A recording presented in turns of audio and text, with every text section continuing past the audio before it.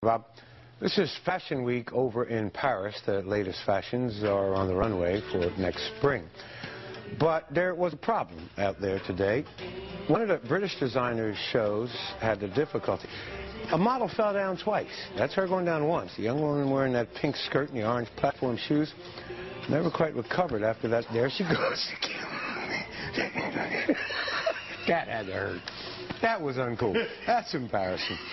This is at least the second time.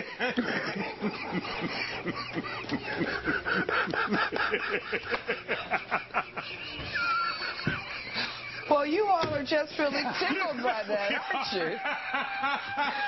you? You try walking in those shoes. Hey, first of all, baby, I got enough meat on me that it's all right. George.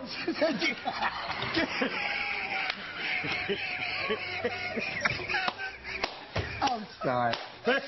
Come on. We, we want to apologize. Hold on, hold on.